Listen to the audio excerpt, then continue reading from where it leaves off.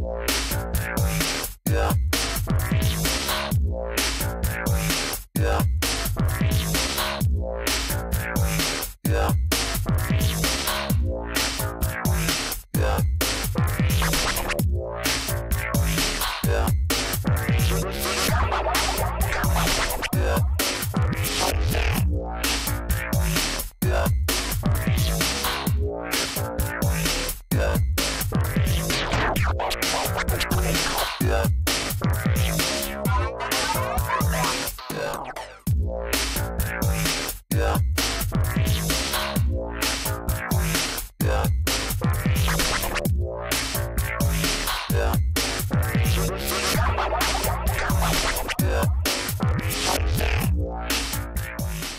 Hello everyone, welcome to the third lesson in our series, Waves in the Real World.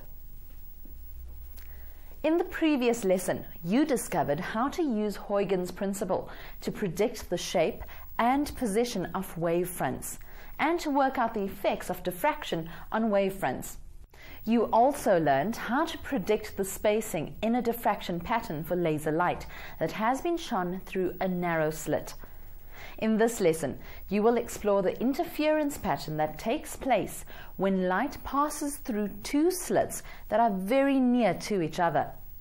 You will also explore the interference patterns formed by diffraction gratings, which consist of a large number of closely spaced slits.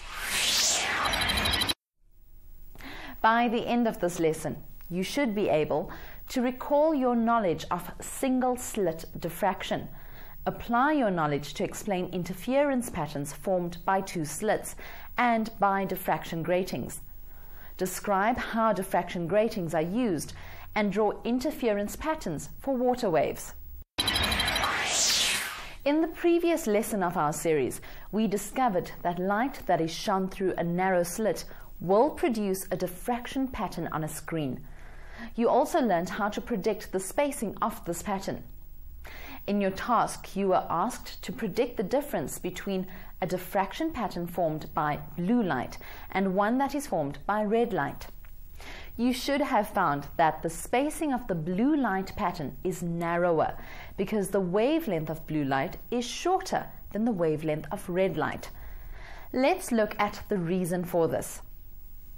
When we calculate the angle that the first dark fringe makes with the horizontal line, you will recall that the equation that we use is theta 1 equals lambda divided by a. This equation shows that the angle is proportional to the wavelength. So, the smaller the wavelength, the smaller the angle to the first dark fringe of the pattern. This same reasoning applies to all parts of the pattern. In other words, the angle to any part of the blue pattern will be smaller than the angle to the corresponding part of the red pattern. We can therefore conclude that the smaller the wavelength, the narrower the diffraction pattern will be. Now in this lesson, we are going to investigate the pattern that is formed when laser light falls onto two narrow slits that are very near to each other. We will first use what we know about waves to make a prediction about what we expect to see, and then go to the lab to see if our prediction is correct.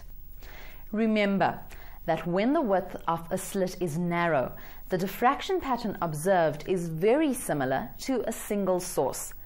So we can think of very narrow slits as sources of waves. Let's represent the wave arriving at the two slits using a diagram.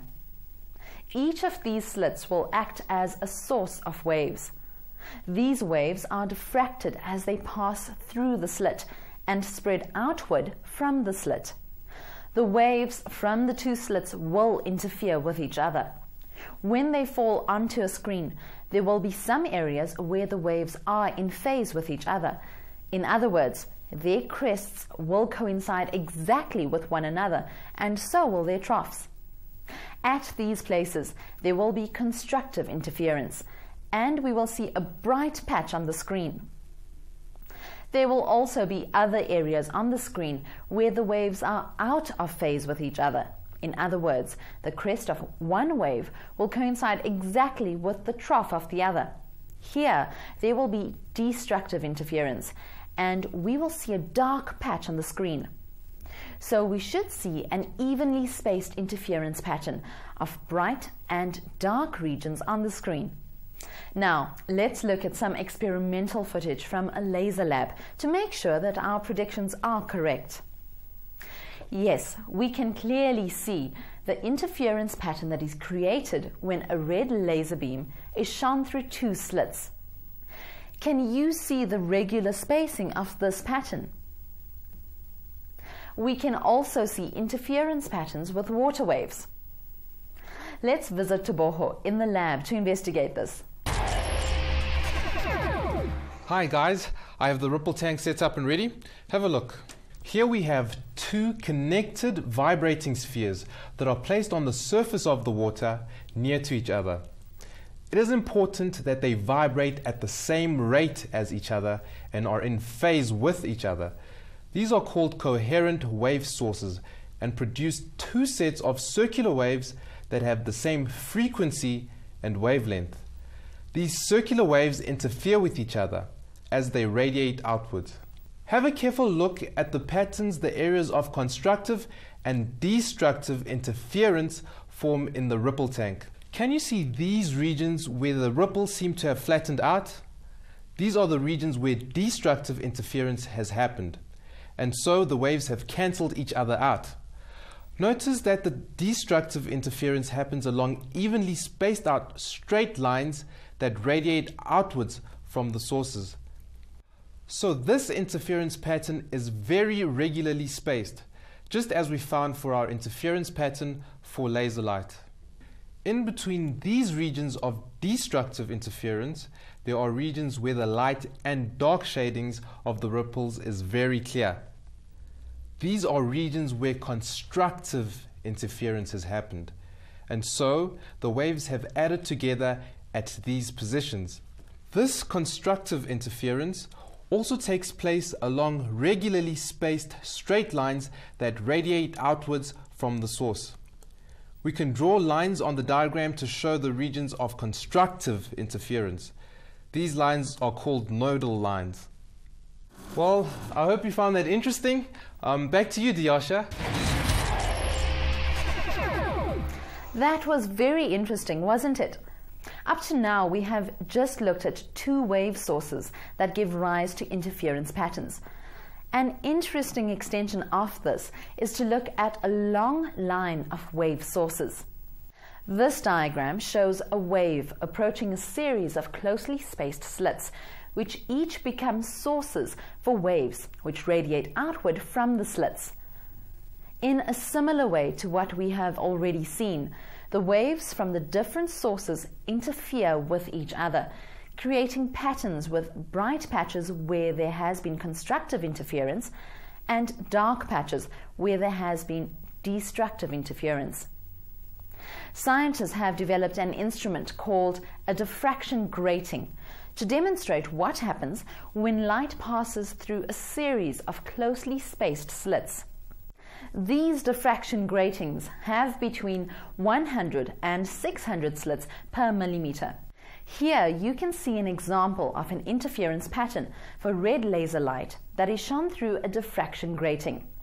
The main difference that we see in the interference pattern formed with a diffraction grating compared with a double slit is that the light pattern is much more defined and clearer. When torchlight is shone through the diffraction grating, the light is spread out into its different color components. This is because the various colors have different wavelengths, and so they are diffracted by different amounts. You will be able to see a similar effect if you allow light to fall onto a CD or DVD. Because the tracks are very closely spaced, the surface acts in a similar way to a diffraction grating, except that here the light is reflected off the tracks rather than passing through narrow gaps. Remember from your task at the end of the previous lesson that you discovered that the diffraction pattern for blue light is narrower than for red light because it has a shorter wavelength. Blue light is therefore always on the inside of the color spectrum of the diffraction pattern and the red light on the outside. So, one of the important things that a diffraction grating does is to separate light into its different color components. This picture shows how a diffraction grating separates purple light into the different bands of its red and blue components. This is very useful because scientists can use this to analyze important information that is held in light rays.